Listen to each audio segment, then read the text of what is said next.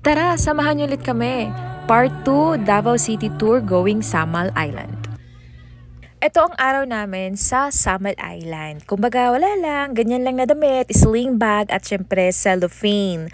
Kasi bawal dito ang backpack for safety purposes. Kaya it's a must when you're traveling, need to make sure na meron kayong dalang sling bag o kaya shopping bag. Basta iwasan lang ang backpack na kabaliktaran sa mga nakasanayan ko sa traveling. Eh, pero okay lang. Ayan, nandito na kami mismo sa may Sasa Wharf and we only paid 20 pesos for the ferry ride.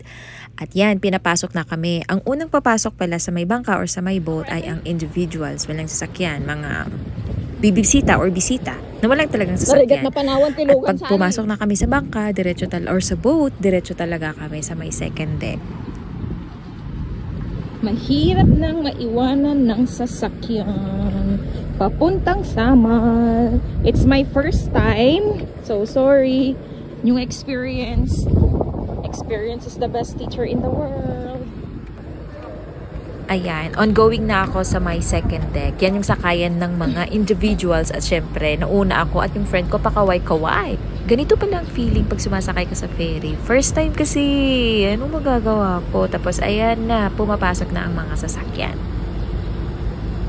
Ang biyahe from Sasa Wharf Terminal to Samal Island Ferry Terminal ay hindi matagal.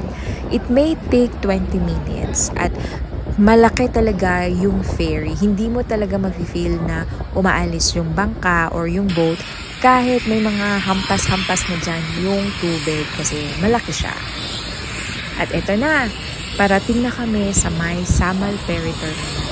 When you arrive sa Samal Ferry Terminal at may mga kasama kayong sasakyan, ang unang pinapalabas talaga ay ang mga sasakyan. Pagkatapos nakalabas lahat ng mga sasakyan at motor, dyan na lalabas ang mga tao. Makikita natin sa video na to, ang unang lalabas ay ang mga motor. Bakit? Para magkaroon ng space, additional space ang mga sasakyan para makalabas sa ferry.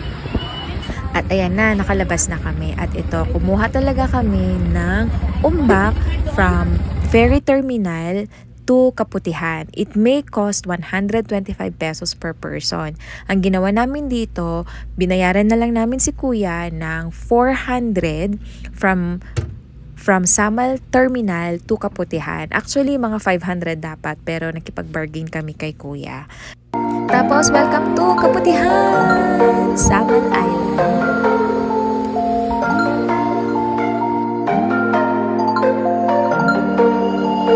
Merong karinderya na malapit sa bus station at ito, ang dami namin kinain for only 185 pesos. O di ba mura lang sa may Island.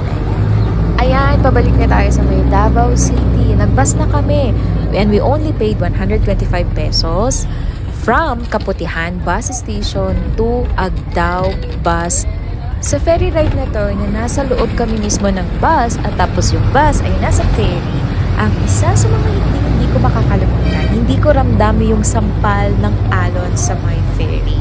Actually, parang wala lang, parang nagpo-float lang. Ito yung boat ride or yung water ride na hindi ako natakot. Hindi ko alam kung bakit pero na-enjoy ko talaga ito. Hindi siya nakakatakot at very safe talaga siya. So, pag kayo bibisita ng Davao City, make sure na bumisita rin kayo sa may Samal Island. Diyan nagtatapos ang part 2.